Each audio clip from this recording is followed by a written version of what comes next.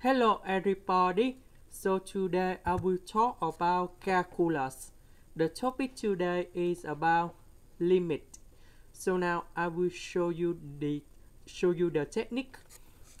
So now we need to use about three theorem.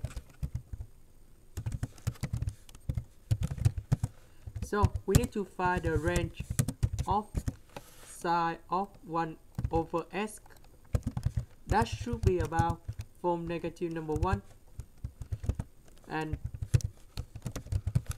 number 1 next we multiply s in the both side. Next we put the limit for the both side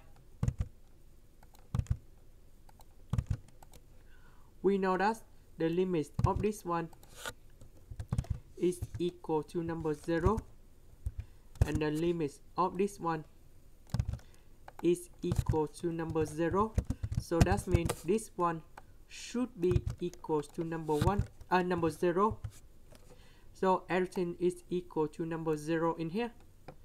And this one should be equal to number 0 that's the end Thank you for watching.